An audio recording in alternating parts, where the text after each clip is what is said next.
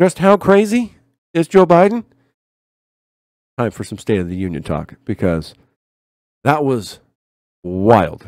That was one of the most wild State of the Unions I've ever seen. It was all the it was like all the best of Joe Biden. It was all the slurs, all the stutters, just the lost in train of thought. When he'd get off script, it went real bad for him. A lot of boos, a lot of cheers, all the things. He was yelling, he was whispering, and did all the things. I was watching it via uh, Timcast IRL, and they actually kept track. They tried to keep track of how many times uh, Joe Biden kind of slurred his words, and it was probably an undercount at the time, but they ended up calling it around three or 113 times in a speech that was not that long. I think it was under 45 minutes, if I recall correctly. But uh, but what we're gonna do is we're gonna take. I've I've got a few clips here of uh, some of the my my more favorite moments, and so we're gonna view those. If you haven't seen it, this is a good way to kind of get some highlights, and uh, we'll discuss why I liked him. First one up. History is watching, just like history watched three years ago on January 6th. Of course, January 6th was going to be mentioned. It had to be mentioned. I mean, the State of the Union happens every year, right? We got to keep talking about what happened three years ago. When insurrectionists stormed this very Capitol and placed a dagger to the throat of American democracy. Many of you were here on that darkest of days. Darkest of days. We all saw with our own eyes the insurrectionists were not patriots. They'd come to stop the peaceful transfer of power, to overturn the will of the people. There's there's already been two flubs if you haven't guessed. If you haven't noticed that yet. It's it was like this the entire time. It was more than one a minute, I'm pretty sure. January 6 lies about the 2020 election and the plots to steal the election posed a great gravest threat to U.S. democracy Great gravest since the threat. Civil War.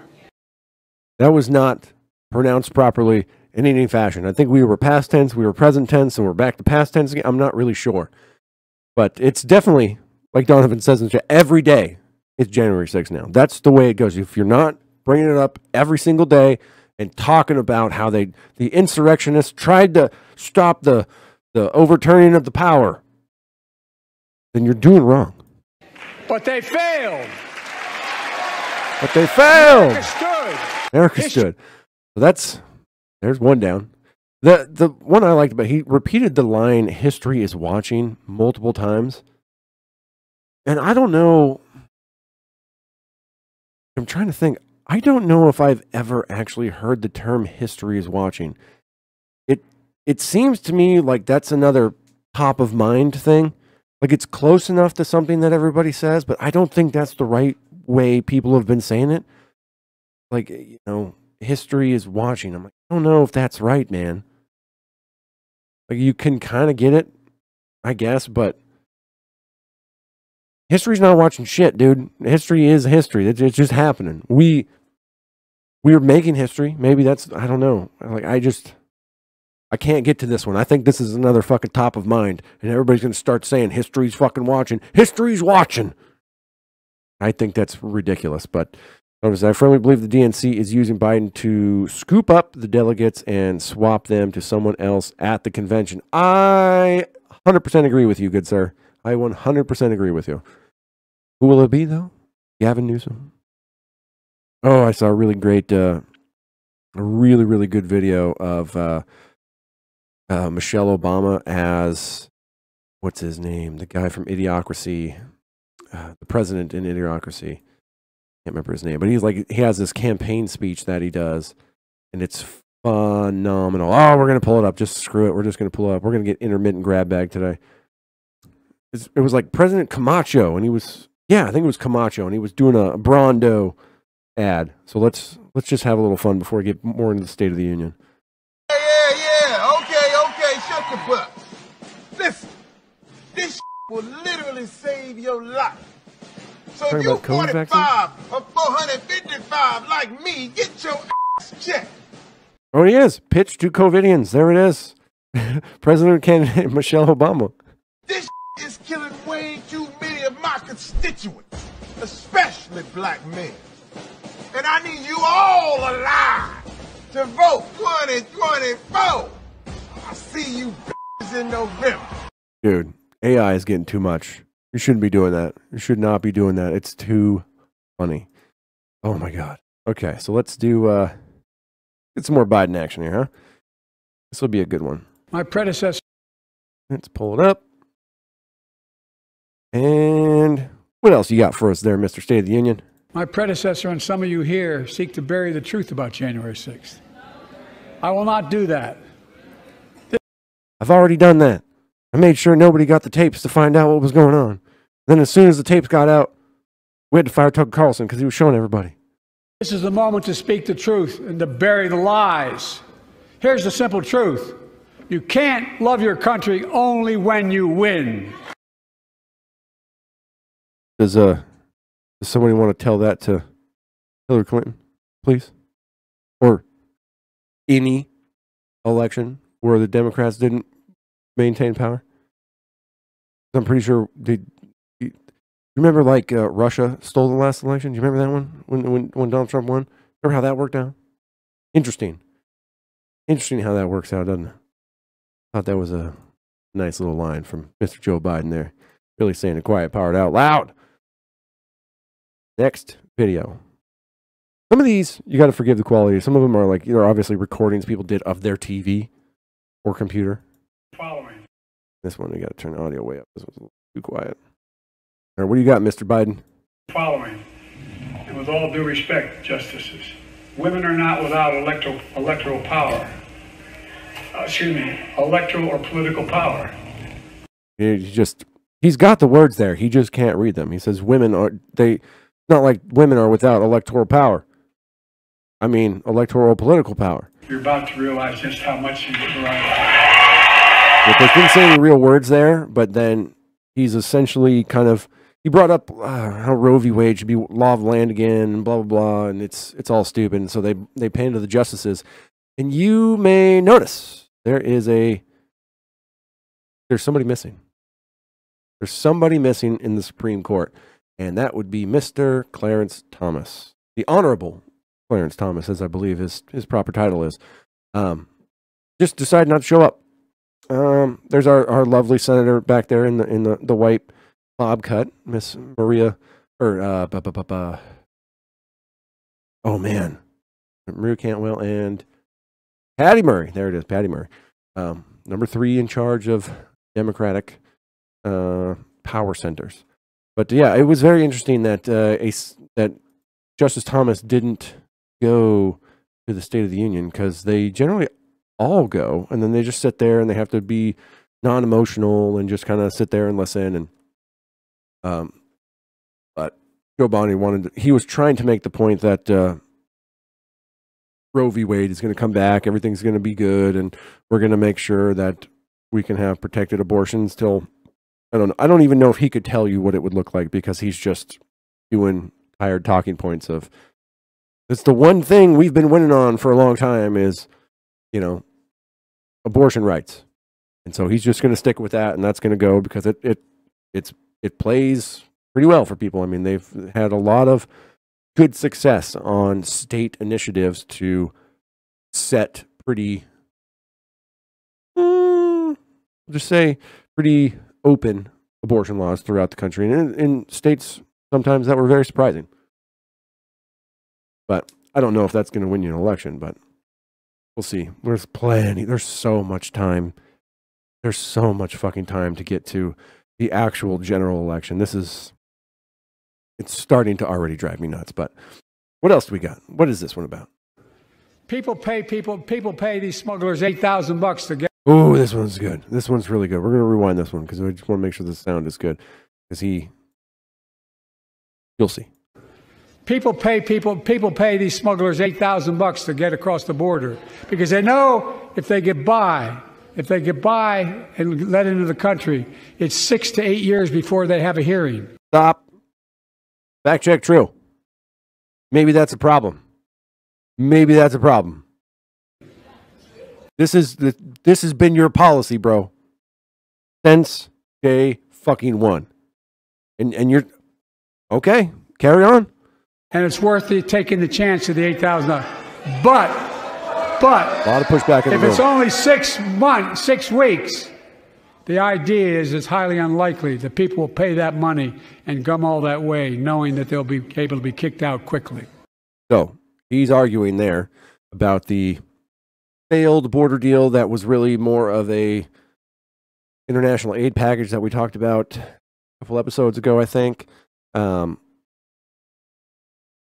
there was border funding along with a couple little changes that would have not done that much, but it added a bunch. It supposedly was trying to add a bunch of more money in there for more judges, more courts, but primarily put the power of asylum in CBP directly through Washington D.C., and that was the main place where they could make the call whether you can stay or you, whether you have to go. And so he would have essentially sped up the clock on how long it takes somebody to have an asylum adjudication done. And right now, like he said, it's six to eight years. So that means you get you you come here illegally, you cross the border, and you get you get your you get to stay here.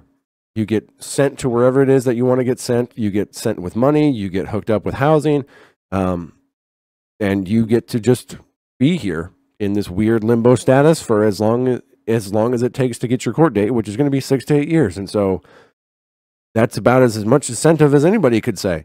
But now he's he's trying to say, well, if we reduce that time to six weeks, then the incentive to come will will go away. Except and as if or and if you essentially make it so that everybody gets approved when they come across, and then it's just a quicker approval. I mean, it's it's a nonsensical thing to say. But he goes on and then tries to blame the Republicans for not passing the border bill. Folks, I would respectfully say people pay people. People pay people, people, people pear, pickles, and stuff. Biden just was fine form that night. So good. Next. The vaccine that saved us from COVID are now being used to beat cancer, turning setback into comeback. That was a very interesting line. The vaccines that saved us from COVID. How's that working out for everybody? But now they're saving people with cancer, turning setback into whatever, step forward. That's that's about some back assward shit right there, if I've ever heard some. Because I'm, I think uh, I've been knowing. I'm pretty sure everybody's getting COVID right now. There's a lot of people getting real sick that I know of, and it's knocking them out hard. And again, anecdotal as all hell, but it, they're all people that got jabbed. So there's that. I don't know. I mean, I've been sick for a while now. Might might have a touch of the Rona, but it's I'm fine. I just got a little bit of a head cold. Uh, I mean, you can hear it in my voice right now, but I don't know. And then I do know there's been some interesting research into the applications of the in the mRNA technology as it pertains to trying to fight various types of cancers. Um, but as far as I know, it's not like some groundbreaking thing that's saving a bunch of people with cancer. So I don't know what he's on about, other than the fact that he's just trying to push the jabs more. I guess it's it's very very interesting. All right, what is next in the State of the Union? We now must beat the NRA again. I'm demanding a ban on assault weapons and high capacity magazines. Pass universal background checks. None Another interesting thing again this year. Everybody, all the everybody wore white again. Like, I don't think it's because it's like international or it's National Women's Month or whatever. None of this. I taught the Second Amendment for 12 years. None of this violates the Second Amendment Sure does. or vilifies responsible gun owners. Yes, it does. My predecessor told the NRA he's proud he did nothing on guns when he was president. Uh, okay. So let's take that step by step. Joe Biden is once again screaming at the top of his lungs that we need a ban assault rifles and high capacity magazines. Well, you don't even know what you're talking about there, old man. So shut the fuck up and sit down. Tired ass talking point. It's just something I think he has to say because this is their platform. It always has to be their platform. Um, as far as his predecessor doing nothing with guns, that is a bald faced fucking lie because Trump did a lot to enable his uh, his ATF and the Justice Department to uh, to alter the NFA to fuck over more and more American citizens and make them felons overnight. I mean, the bump stock ban for once, for just for one example. I mean, that's that's it. I mean, he he was not a near and dear friend of the Second Amendment, and Joe Biden couldn't teach a fucking thing for twelve years, much less taught the Second Amendment for twelve years. No, no. I mean, it's you read it, it's pretty simple. Not to be infringed, not not infr- eh, no infringement. That's all you really need to say. But obviously, he made this a very big talking point in his speech. I mean, to, to say, we're going to ban these. I demand we ban these. First of all, you can't do that. It'd be up to the Congress. And, you know, Mike Johnson, for who he is, is not going to even entertain that as long as he's in charge of the House and we and the Republicans maintain a majority there. I do think it's interesting that he's still stuck up on the NRA, which anybody in the gun community these days, the NRA is kind of a it's still a laughing stock. They they're not the bogeyman that they were to somebody like Joe Biden back 40 fucking years ago when he was really trying to fight them and get the assault weapons ban in place on the federal level in the 90s, I think. So it just shows you again how much how out of touch this old man really is, and he's got no concept of what he's actually talking about. Um, but we'll let the man carry on some more. It's an unprecedented moment. Different volumes. It's an unprecedented moment in the history of the Union. And yes, my purpose tonight is to wake up the Congress and alert the American people that this is no ordinary moment either. Not What? What? Okay. It's a be easier to understand that if he didn't fumble over every other word. But hey, whatever. Not since President Lincoln. since President Lincoln and the Civil War have freedom and democracy been under assault at home as they are today. What makes our moment rare is that freedom and democracy are under attack at both at home and overseas. As apparently it has been for ever and ever and ever. Hence all the wars we've been fighting for decade upon decade upon decade. And also, anybody that knows anything about Lincoln's presidency probably shouldn't hold him up as the bastion of freedom and liberty, considering he literally just said, "Fuck the Constitution. We're gonna we're gonna cut these. Uh, we're gonna cut down on these rights, cut down on those rights, and we're gonna have the army do some shit that the army's not supposed to do, and we're just gonna start arresting a bunch of politicians and throwing them in jail and freedom of the press. Nah, that's funny. Goodbye. Not a real true fan, friend of liberty. At the very same time, overseas, Putin of Russia is on the march, invading Ukraine and sowing chaos throughout Europe and beyond. If anybody in this room thinks Putin will stop at Ukraine, I assure you he will not. Pause button. The fuck are you talking about, dude? What are you talking about? If if we don't stop Putin in Ukraine, he's going to take over. He's just going to roll into the rest of Europe, huh? Is that that's the line we're still going with? I can't even I can't even with this. I mean, we if you were if you caught the Tucker Carlson interview with Vladimir Putin, he discussed in great lengths uh, the history of what he deems Russia and all this good stuff. And yes, it does involve other places, but there has been zero evidence to show that Vladimir Putin is in, interested in anything more than Ukraine. And not even Ukraine in its entirety. It seems to be the eastern portions of Ukraine, the Donbass region, and access to the Black Sea. And I mean, it, it, the the areas that he's been fucking around has only been on the east. Uh, In the beginning, he pushed in from the north, that was beaten back, and then every it's all just been taken on the eastern front, and he's not marching through. oh, sorry, talking a lot. Um, there's nothing that indicates he's interested in the rest of Europe. This this tired talking point that is It comes from the president on fucking down and disseminated through his acolytes in the corporate press to just try to scare everybody that is not paying attention that Vladimir Putin is the next Hitler and it's just going to roll right into Europe. And next thing you know, it's going to be World War III. Meanwhile, we just add another state to NATO. So that's that's good, but we'll discuss that later. This is I'm just so tired of this talking point. It is not based in any kind of reality whatsoever, and it's just used as a scare tactic to get to justify the hundreds of billions of our dollars that are being spent on this super fucking corrupt nation over Ukraine. I got it, dude. You got invaded. It's the whole thing. We've discussed it at great length on this show. But for the president to just get up there and then reiterate a fucking lie that is not based in any sense of reality drives me nuts. But he assures you Putin will. He will not stop at Ukraine.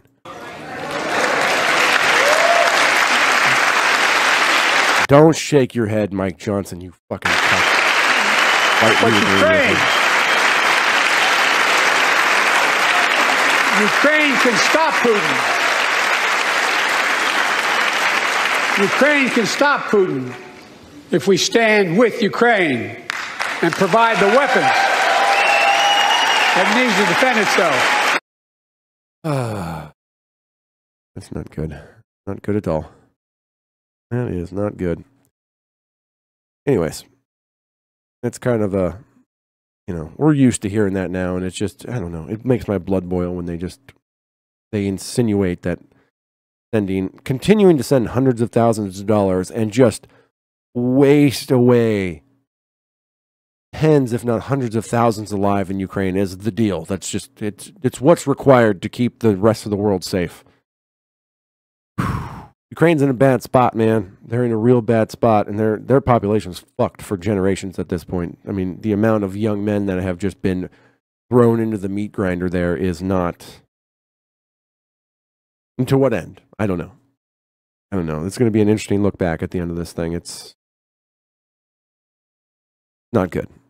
But we got, I think, one or two more clips from the stadium. Let's check it out. It's not about him. It's not about me.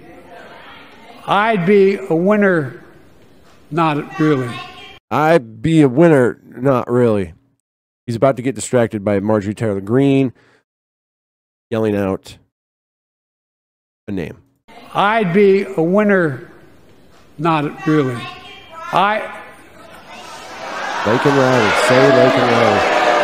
And just look at it. The booze and the look of shame. Lincoln Lincoln Riley, Lincoln. an innocent young woman who was killed. Okay. There's a lot going on here. We're gonna we're gonna retrack again because I want you guys to hear the name. And he's holding up a button that says Laken Riley on it. Like he, he he could potentially read it. I believe the font is big enough.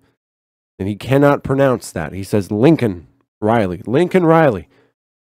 Let's let's turn it back one more time. And then he really he really gets into some problems here because he starts talking about the problem with the crime and with the criminal aliens. I'd be a winner, not really. I I'd be a winner, not really.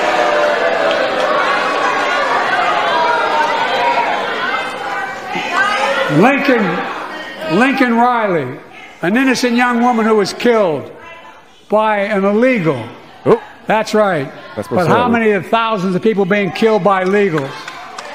To her parents, I say, my heart goes out to you, having lost children myself. I understand. But look, if we change the dynamic at the border, people pay people people pay these okay. And then he gets back into that same thing that he said, but obviously he's got a big problem on his hands there. He did not handle that one very gracefully. That was really, really tough. The Laken Riley incident was a pretty rough one. Um, if we have time today, maybe we'll cover it a little bit later. I think I got some articles on it, but it's tragic story. Um, very, very tragic story. Uh, young college girl was out jogging, picked up by an illegal immigrant, tried to rape her when she fought back. He ended up killing her. Not good. And it just adds to more these strings of crime that have been stemming from the fallout from all this illegal migration that's just been facilitated wholly by the Biden administration. It's absolutely fucking insane. And for him to just, I mean, he, that was not a good look for him. Even on, I think it was on MSNBC, Nancy Pelosi was joined by her good friend Jen Psaki, uh, among other people on this panel. And uh, after that moment, um, even Nancy Pelosi said, like, oh, you know, he sh- he shouldn't have said that. I mean, we don't we we don't really like to use the term illegals. But hey, you know, the man is not doing so hot. So I guess he's just reverting back to his old ways. Who knows? I think this is the last one we got, and we'll we'll move on. Freedom to be safe. And America is safer today than when I took office. Year before I took office, murder rates went up 30%. 30% they went up. Did you hear that? He says the, the biggest increase in history.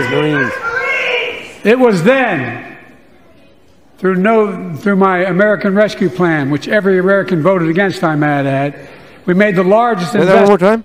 Through no through my American Rescue Plan, which every American voted against. I might add. It's the dude's all over. He's obviously got frazzled by that guy. So who that man is? Cut to him here real quick. That is a Gold Star father, who's I'm assuming uh, son or daughter. There's uh, a mixed bunch that got blown up in um, at the Abbey Gate over at the what is the uh, Kabul National Airport um, during the ridiculously terrible, disgusting Vietnam era pullout of Afghanistan. There was the terrorist attack on the Abbey Gate in which 13 U.S. Marines were killed. His son or daughter was one of them. And so he got up and he shouted, Abbey, Abbey Gate, the minute Joe Biden started to say this is, you know, the country's never been safer before. Yeah, good luck trying to convince people of that one. And he was merely escorted out, arrested, and tried with a misdemeanor. So there's that. There's that. But also, I like that flub line that he did there. We'll listen to it one more time through no through my American Rescue Plan, which every American voted against, I might add. The American Rescue Plan, which every American voted against, I might add. Dude's all over the place. Very, very, very all over the place. Did not hold it together very well once he did that.